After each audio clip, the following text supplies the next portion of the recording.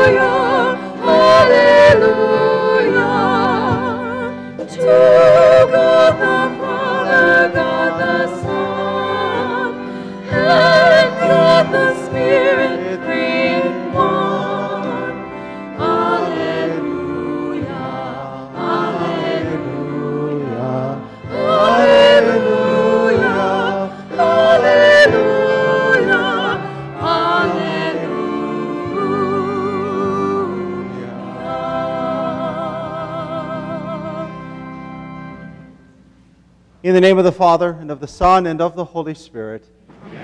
Peace be with you. It's a great joy to be here at the parish of St. Louis on the Feast of St. Louis, my namesake. Uh, so I appreciate the invitation to be with you today, celebrating your parish anniversary. Uh, and, and we recognize the wonderful saint that St. Louis is as he devoted his life to the Lord as he served his people. And we are called to devote our lives to the Lord and to be in service to one another. But there are many times we fail to do so. And so let us acknowledge our sins as we prepare our minds and hearts to enter into these saving mysteries so that we can experience again the mercy God shows us.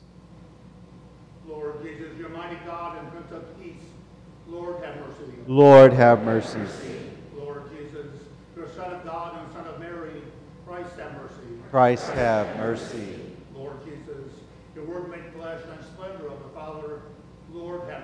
Lord, have mercy.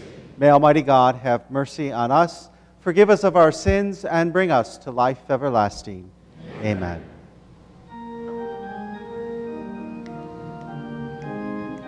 Glory to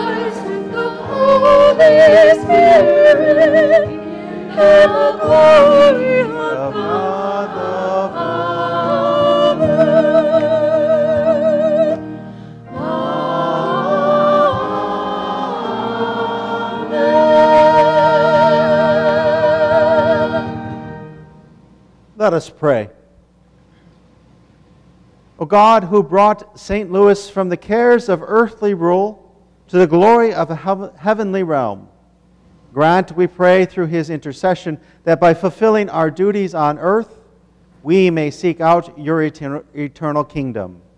Through our Lord Jesus Christ, your Son, who lives and reigns with you in the unity of the Holy Spirit, God forever and ever. Amen.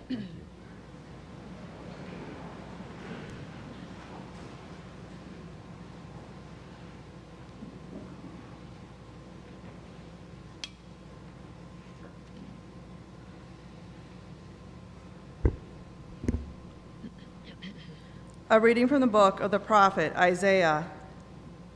Thus says the Lord This is a fasting that I wish, releasing those bound unjustly, untying the thongs of the yoke, setting free the oppressed, breaking every yoke, sharing your bread with the hungry, sheltering the oppressed and the homeless, clothing the naked when you see them, and not turning your back on your own.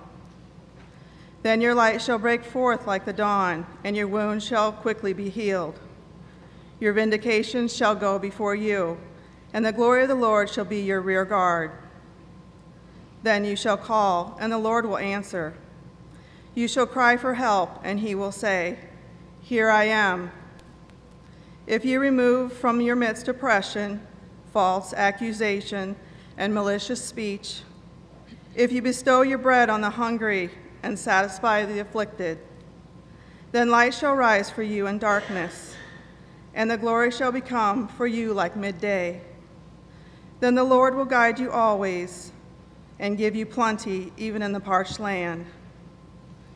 He will renew your strength, and you shall be like a watered garden, like a spring whose water never fails. The word of the Lord. We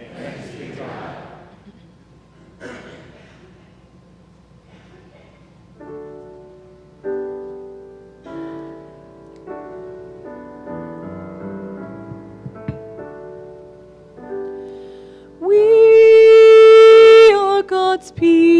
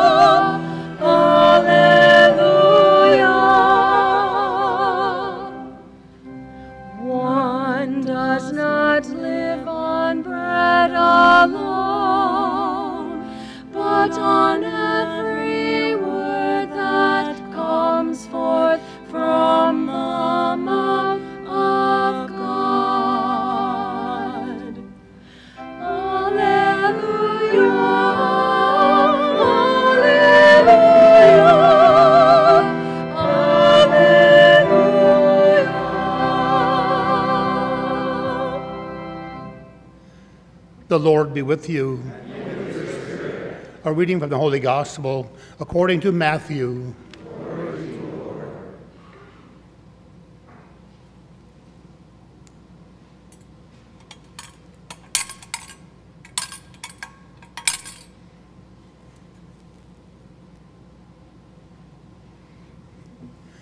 When the Pharisees heard that Jesus had silenced the Sadducees, they gathered together, and one of them, a scholar of the law, tested him by asking, Teacher, which commandment in the law is the greatest? He said to him, You shall love the Lord your God with all your heart, with all your soul, and with all your mind. This is the greatest and the first commandment. The second is like it You shall love your neighbor as yourself. The whole law and the prophets depend on these two commandments. The Gospel of the Lord.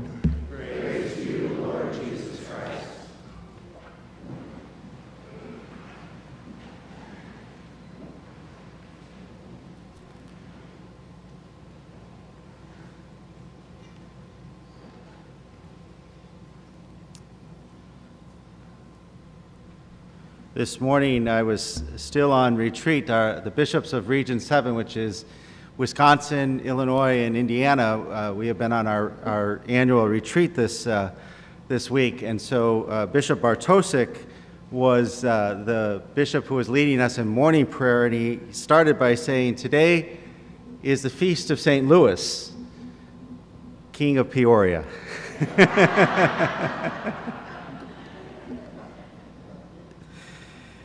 No, it is not my feast day. It is my namesake's feast day.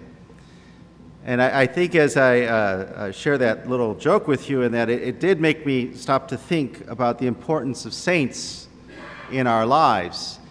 And the fact that we are so blessed to have this great cloud of witnesses who have gone before us and given us an example to live by something in their mark in their life is remarkable and that something is, is that they gave themselves in their own unique way because of who they were who they are to the lord in service of the lord. They fulfilled the commandment that we just heard proclaimed. You shall love the lord your god with all your mind with all your heart. And the second is just like it. You shall love your neighbor as yourself. And as we gather here at St. Louis on the Feast of St. Louis, we look to him, the 13th century King of France. And perhaps we ask the question how is it that he is a model for us? You know, there's lots of different saints. One of the interesting things as we talked uh, uh, I was talking with the bishops. I said, You know how many St. Marys there are in the Diocese of Peoria? There's only one St. Louis. and when you look at his life, you see someone who was given earthly rule as King of France, but he did, it, did his job in some ways with heavenly love. He devoted himself as a secular king to serve the King of glory, to proclaim his faith in Jesus, to live out that faith and offer his leadership in a way that said everything he wanted to do was indeed somehow consistent with his desire to serve the Lord. Was he perfect? By no means. But he did live a remarkable life, and he gave himself to his country and to the Lord. Last year, when I was named bishop here in the Diocese of Peoria, and as I came down, one of the gifts that I received from one of the priests was a statue of St. Louis. It's the statue of St. Louis that is in front of the art museum down in the city of St. Louis. That statue was put in place oh, over 100 years ago. And it has this King of France riding on a horse. And he's got his arm lifted up, and he's holding his sword. Now, you would expect that he would be holding his sword with the blade of the sword into the air kind of like a, you know, a victory like march almost. But he's not holding his sword in the air, he's holding his sword with the blade pointing to the ground. And when I looked at that statue and I think about it, it's almost as if that sword makes a cross because of the way he holds it. As an aside, I understand that the local university the students like to try to steal the sword. it's had to be repaired a number of times over the years. But I think of that image, especially as I gather with you here today, because he's not holding up the weapon of war. In a sense, he's holding up the weapon of salvation. What he's doing by turning the sword to the ground is saying that there is indeed a higher purpose, a greater realm. That's not of this earth, not of this world, but it is the kingdom of heaven that has been won for us by Christ Jesus on the cross. Through his death and resurrection, we have new life. We share in the glory to come in God's eternal kingdom. It's almost like a juxtaposition because what should be seen as a weapon of violence now makes the sign of peace, where it is the sign of Jesus' love for us. As I think even more of that image, because I think the reason the church gives us saints holds up these models for us to say, look at their life, learn from their example in particular, I think of that image of St. Louis riding the horse with his arm in the air, almost forgetting the fact that he's even holding that sword, and thinking about the fact maybe he's pointing to heaven. Maybe he's pointing to what God has prepared for us all. And then when you encounter that, at least for me, it begs my own question how is my life pointing to heaven? How is my life pointing to the Lord? And for the shortcomings, my sinfulness, I certainly have to ask God for mercy. I have to seek out the pardon that Jesus offers. But I also have to commit myself every day to think about what ways in this day that God has given to me, has given to you, can your life, can my life point to the glory of heaven? Point to Jesus. Because that is our calling. That is how we become saints, is by living out the example by those who have gone before us. How they, in some remarkable way, brought the presence of Jesus into the world, the message of the gospel. They honored God and they loved their neighbor. And so today, as we gather celebrating this feast of St. Louis, the patron saint of this parish, let us commit ourselves anew. Let us commit ourselves yet again to our daily task of holiness. And let us ask ourselves, how might our lives point to the life of our Savior Jesus? Because it is through his cross that the victory of heaven has been won.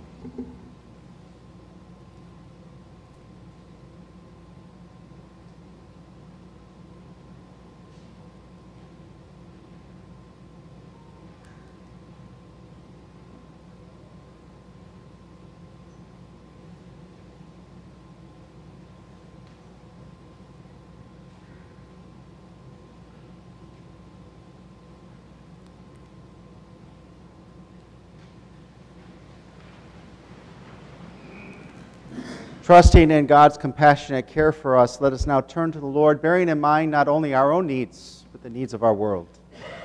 For the church throughout the world, may she draw all people to Christ. We pray to the Lord. Lord, hear our prayer. For Bishop Louis Tylka, may God bless him abundantly as he serves our diocese. We pray to the Lord. Lord, hear our prayer. For our parish and our paternal feast day, may all of us be blessed with greater holiness and greater faith. We pray to the Lord. Lord, hear our prayer. That government leaders may follow the example of St. Louis prudence, justice, and love of the poor. We pray to the Lord. Lord, hear our prayer. That our hearts will be filled with gratitude for the many blessings that our parish and our families have received from God. We pray to the Lord. Lord, hear our prayer. And for all those who are sick, especially our parishioners confined to home, to nursing homes, and to the hospital, we pray to the Lord. Lord, hear our prayer. For all the priests who have served our parish, especially those who have died, may God bless them with his eternal love. We pray to the Lord. Lord, hear our prayer. May all of our deceased parishioners be raised up to the glory of heaven. We pray to the Lord. Lord, hear our prayer. And for those prayers we hold in the silence of our hearts, we pray to the Lord. Lord, hear our prayer. And now let's pray to St. Michael for the freedom of the Catholic Church in America. St. Michael, Michael the Archangel, defend us in battle. Be our protection against the wickedness and snares of the devil. May God rebuke him, we humbly pray. And do thou, O Prince of the heavenly host, by the power of God, thrust into hell Satan and all and all the evil spirits who wander throughout the world for the ruin of souls. Amen.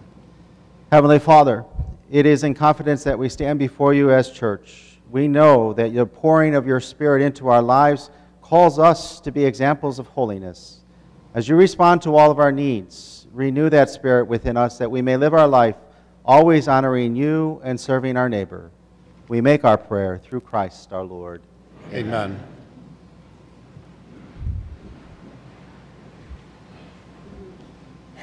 Please join with us in singing our offertory hymn, number 721, Blessed Are They.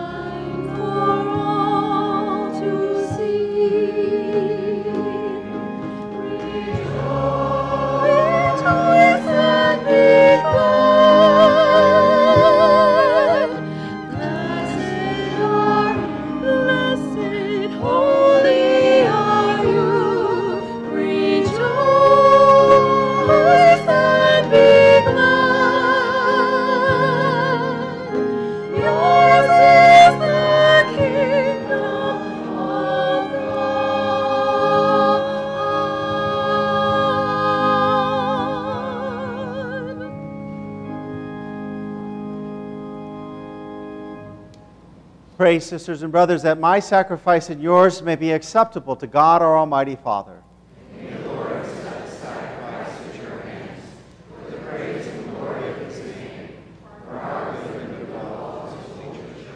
Receive, O Lord, the offerings of your people, and grant that we who celebrate your Son's work of boundless charity may, by the example of Blessed Louis, be confirmed in love of you and of our neighbor. Through Christ our Lord. Amen.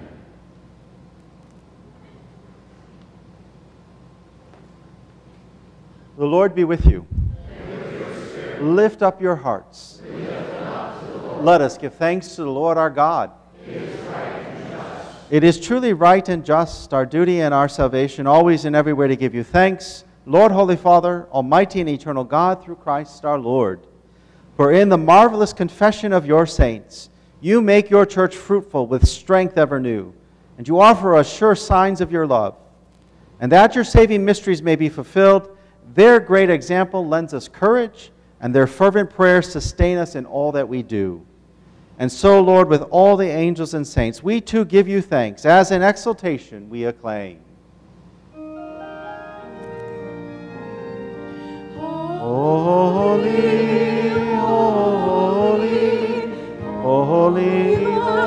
Lord God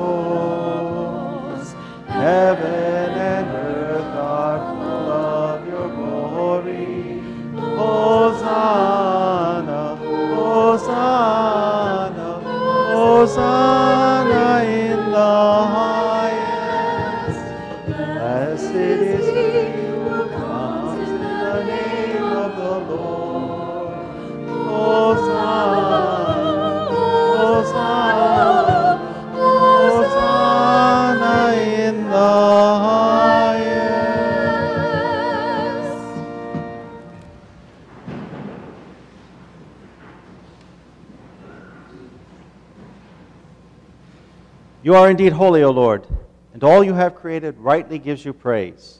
For through your Son, our Lord Jesus Christ, by the power and working of the Holy Spirit, you give life to all things and you make them holy, and you never cease to gather a people to yourself, so that from the rising of the sun to its setting, a pure sacrifice may be offered to your name. And therefore, Lord, we humbly implore you by the same Spirit, graciously make holy these gifts that we have brought to you for consecration, that they may become the body and blood of your Son, our Lord Jesus Christ, at whose command we celebrate these mysteries.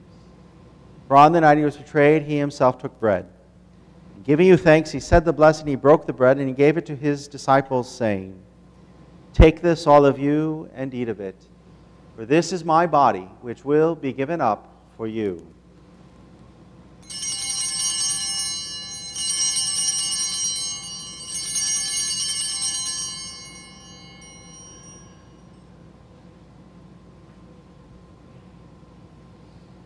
In a similar way, when supper was ended, he took the chalice and giving you thanks, he said the blessing and gave the chalice to his disciples, saying, Take this, all of you, and drink from it, for this is a chalice of my blood, the blood of the new and eternal covenant, which will be poured out for you and for many for the forgiveness of sins. Do this in memory of me.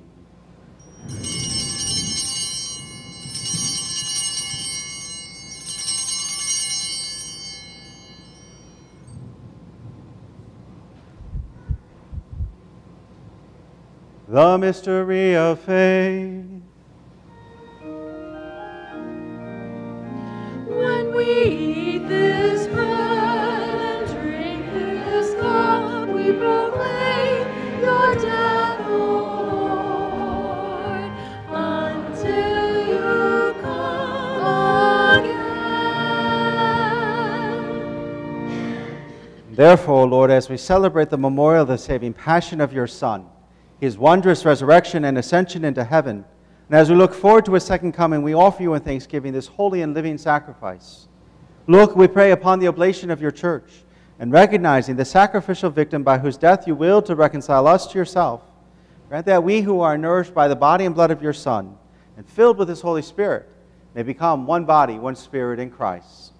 May he make of us an eternal offering to you, so that we may obtain an inheritance with your elect, especially with the most blessed Virgin Mary, Mother of God, with blessed Joseph, her spouse, with your blessed apostles and glorious martyrs, with St. Louis and with all the saints, on whose constant intercession in your presence we rely for unfailing help. May this sacrifice of our reconciliation, we pray, O Lord, advance the peace and salvation of all the world. Be pleased to confirm in faith and charity your pilgrim church on earth, with your servant Francis our Pope and Daniel our Bishop, me your unworthy servant, the order of bishops, all of the clergy, and the entire people that you have gained for your own. Listen graciously to the prayers of this family, whom you have summoned here before you. In your compassion, O merciful Father, gather to yourself all of your children scattered throughout the world. And to our departed brothers and sisters, and to all who are pleasing to you at their passing from this life, give kind admittance to your kingdom. There we hope to enjoy forever the fullness of your glory through Christ our Lord, through whom you bestow on the world all that is good.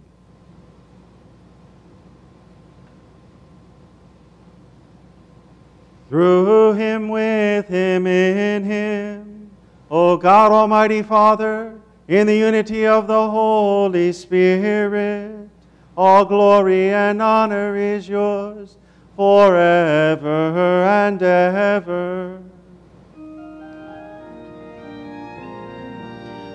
Amen. Amen.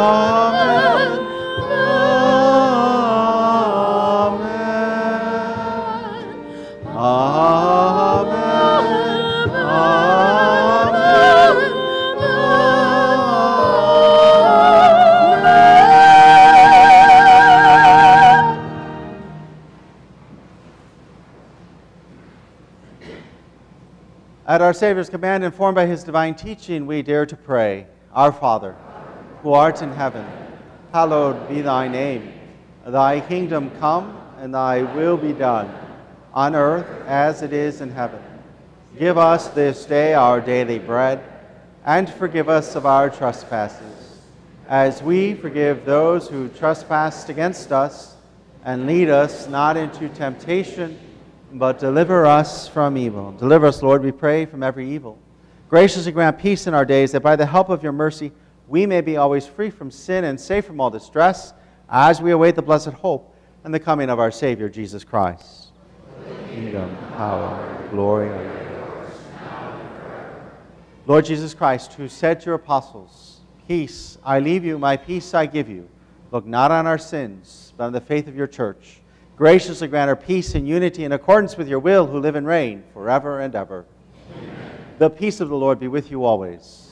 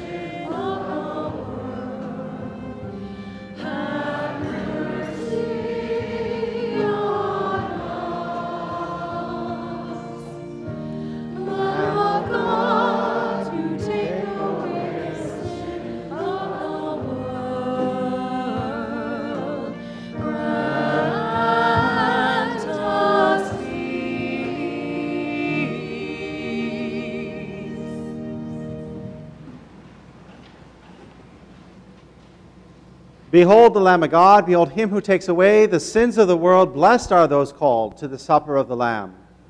Lord, I am not worthy that you should enter under my roof. Only say the word, and my soul shall be healed.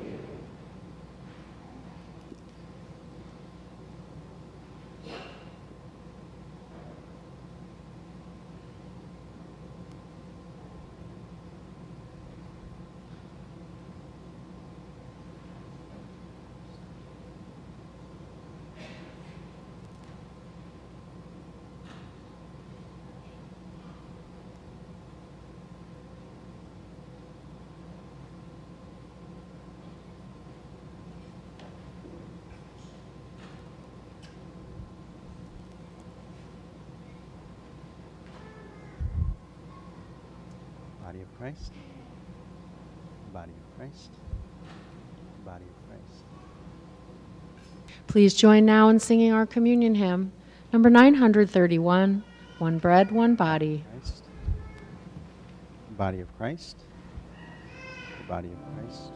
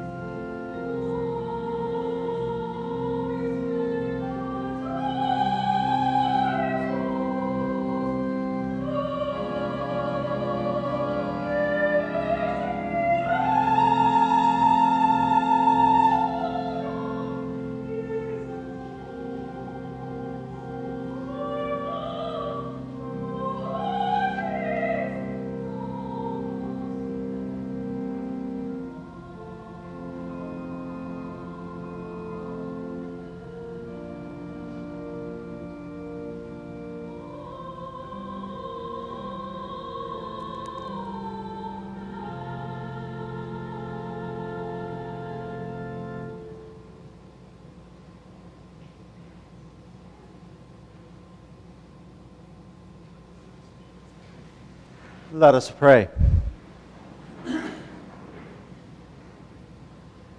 Grant, we pray, O Lord, that we who are renewed by these sacred mysteries may follow the example of Blessed Louis, who honored you with tireless devotion and by surpassing charity was of service to your people. Through Christ our Lord. Amen. You be seated just for a brief moment. I am so happy and pleased to see so many who have come out for this special celebration.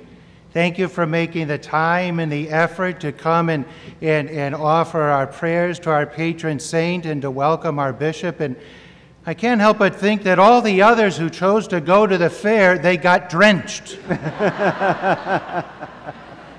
But really, I, I, shared with you in a recent bulletin of what a truly special event it is to be at a Mass celebrated by a bishop. He brings truly a unique power and special gift and grace for us.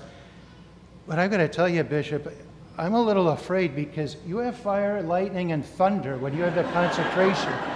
This is one for the books, but I'm truly grateful for you taking time to be with us. Thank you. You know, I know that you worked with Father Hepner some time ago to make arrangements for now. When I heard about this big event, I was like, oh my gosh, it's going to be so much to plan. This has been like the easiest thing for me. I'm grateful for all of the different volunteers. We had our sacristans, our lector, our deacon, we had the ladies in the office, beautiful choir, all of the wonderful servers, and thank you so much to all of those who helped make this a great event. And Bishop, I invite you and everyone else right after Mass, please make your way over to Hart Greater Hall. It has been beautifully decorated. We have a spectacular meal that our CCW has planned, provided for, and are going to serve. And I'm sorry, I know I've only been here two months, but I finally get to try ye old tavern chicken or tavern chicken just down the block. Yeah, I hear it's spectacular. I can't wait to have some good bar food chicken. It's going to be great. So please uh, come on over to dinner. Even if you didn't make plans, stick around. You don't want to walk home in the rain right now. Come over to dinner. Bishop, thank you. Thank you, Monsignor.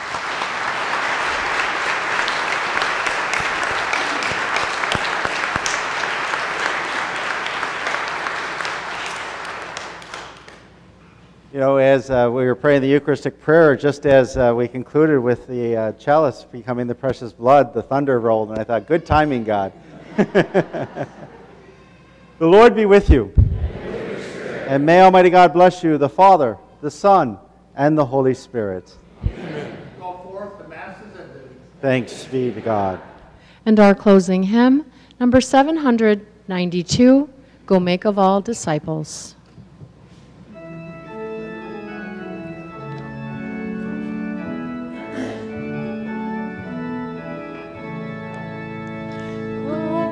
of all disciples.